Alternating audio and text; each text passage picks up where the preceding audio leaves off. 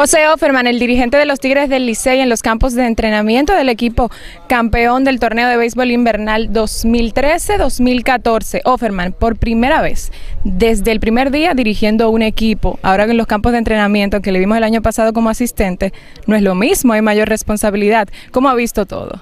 Ah, todo ha estado bastante bien. Ah, como tú dices, siempre va a haber la incógnita de que así va a poder o si no va a poder desde el principio. Pero estamos aquí tratando de hacer el mismo trabajo eh, con la misma intensidad, la misma idea y, ah, preparando a los muchachos a que desde el principio nos den el mejor futuro, el mejor, la mejor preparación que podamos hacer y la idea es esa. Hay una muy buena convocatoria y hay muchos muchachos jóvenes. ¿Cómo la ha visto usted? Ya usted sabía previamente quizás los muchachos que se integrarían desde el primer día. ¿Cómo ha visto todo?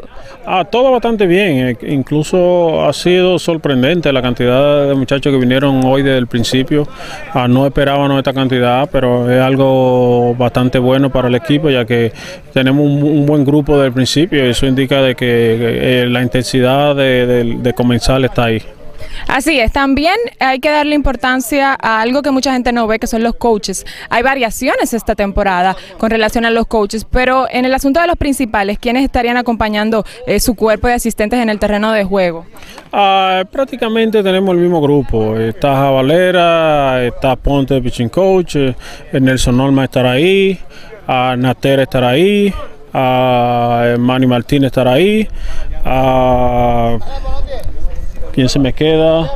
Eh, prácticamente estamos todos. Entonces, lo, principal es que eh, tenemos el mismo grupo ah, y es lo que estamos tratando de que eh, tener la misma asistencia que, hemos tenido en el pasado. Es decir, que los que no se han integrado todavía sí están por llegar a los Tigres del Licey todavía está de sustituto, se espera a Francisco Morales, se espera a los muchachos y demás. Sí, exactamente, ellos todavía no han llegado, eh, están eh, todavía en su compromiso con su organización y no han llegado aquí, ah, pero creo que de aquí a que comencemos el, grupo completo, creo que estaremos todos juntos. Todos los equipos del béisbol invernal deben tener un plan B con relación a la fatiga extrema y ya salió el listado y los Tigres del Licey se ven afectados, sobre todo en el aspecto de lanzadores como Héctor Noesí, que, que jugaron muy bien el año pasado y que también eh, tuvo muchos partidos en las mayores. ¿Cómo, ¿Cómo vio la lista? ¿En qué cree que podía afectarle?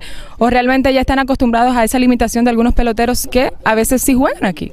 Sí, uno nunca se puede adaptar a eso, ya que uno pierde una gran cantidad de jugadores que, nos pueden ayudar bastante, pero como tú dices, uno trata de hacer un plan B y, darle la oportunidad a muchos de estos muchachos jóvenes que vienen subiendo y que en sí nos pueden ayudar. Así que lo que estamos tratando es de que ah, el talento que tenemos, que es bastante grande, eh, nos puedan ayudar, al igual que los jugadores que no puedan jugar este año. Bueno, muchísimas gracias, eh, Offerman, José Offerman, el dirigente de los Tigres del Licey, y aquí estamos mejor imposible con este sol. Gracias, Sí, cómo no.